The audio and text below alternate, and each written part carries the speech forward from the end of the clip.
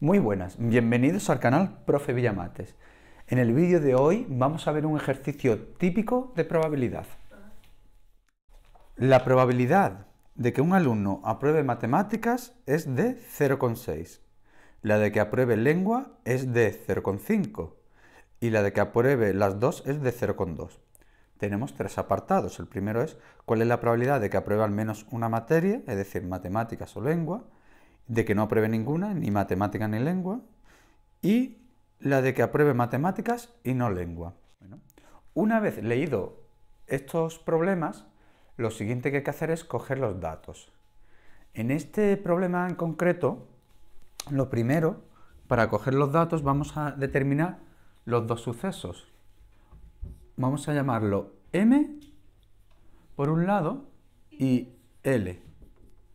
M va a ser Aprobar lengua, matemáticas. M, aprobar matemáticas. Aprobar matemáticas.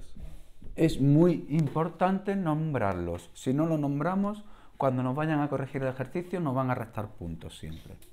Y también nos sirve a nosotros para tener las ideas muy claras. L va a hacer aprobar lengua. Bueno, sigamos cogiendo los datos. Nos ha dicho que la probabilidad de aprobar matemáticas es de 0,6. También nos han dicho que la probabilidad de aprobar lengua es de 0,5, creo recordar, ¿no? Sí.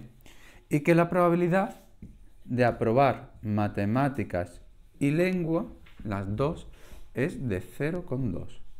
Estos son nuestros datos. Y a partir de aquí tenemos que hacer el ejercicio. Recordad que cuando tenemos la de dos sucesos, M, L y de su intersección, automáticamente también tenemos la de su unión, la de la unión de los contrarios, todos los contrarios, utilizando las leyes de Morgan y la fórmula de la probabilidad de la unión. Vamos al apartado A. Nos dice cuál es la probabilidad de que apruebe alguna de ellas, es decir, que apruebe o matemáticas o lengua matemáticas o lengua. ¿Qué significa el O en matemáticas y en la teoría de conjuntos? Significa unión. O aprueba matemáticas o aprueba lengua. Esto lo podemos sustituir por el O. ¿De acuerdo? Esto es muy importante. Bueno, y ya sabemos con la fórmula de la probabilidad de la unión. Eh, sería la probabilidad del primero más la probabilidad del segundo menos la probabilidad de la intersección. Si no os acordáis de esta fórmula, la podéis sacar en un periquete. Sería este el espacio muestral, este es M, este es L y aquí tenemos la intersección. ¿Cuál es la probabilidad de la unión? Pues sería la probabilidad de M, cogemos ya la intersección, la probabilidad de L, que hemos vuelto a coger la intersección y hemos de quitarla la probabilidad de m más la de l y quitamos una vez la intersección. Bueno, la probabilidad de m es 0,6.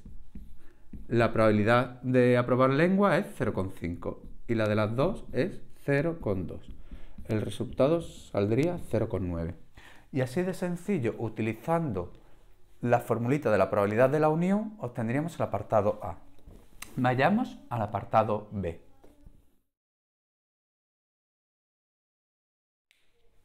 En el apartado B nos dicen cuál es la probabilidad de que no apruebe ninguna. ¿Qué quiere decir eso? Eso quiere decir lo siguiente, que no apruebe matemáticas y que no apruebe lengua. ¿Qué significa el y en la teoría de conjuntos? La intersección. ¿Vale? Entonces, la unión o la intersección y.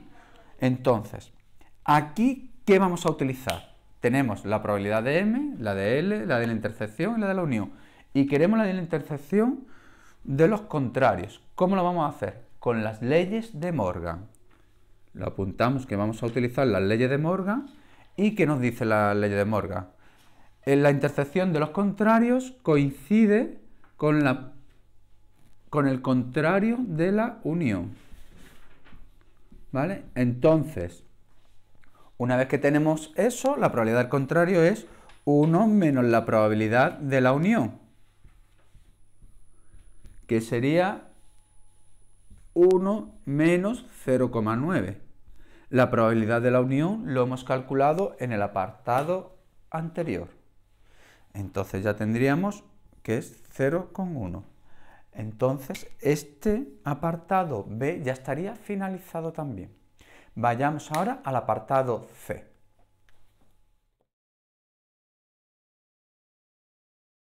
En el apartado C nos preguntan cuál es la probabilidad que apruebe matemáticas y no lengua. Esto quiere decir que apruebe matemáticas y no lengua. Esto es una cosa que suele caer bastante y tenemos que aprender la fórmula. ¿Yo me la sé de memoria? No la razono de una manera muy, muy rápida. Venga, vamos a dibujarlo. Estamos con el espacio muestral entero. Yo pongo este M, este lo pongo el suceso L y yo quiero ver los que están en M y no están en L. Esos son estos de aquí. Estos están en M, pero no están en L, porque la intersección sí está en L. ¿Cuál sería la probabilidad de eso? Pues venga, vamos a razonarlo. La probabilidad de este sería, por un lado, la probabilidad de m menos la probabilidad de este trocito de aquí. Y ese trocito de ahí, ¿quién es? La intersección. Muy bien. De esta manera hemos sacado la fórmula de una manera muy rápida. Sería la probabilidad de m menos la probabilidad de la intersección. Y entonces la probabilidad de m nos la daban 0,6 la probabilidad de la intersección también nos la han dado.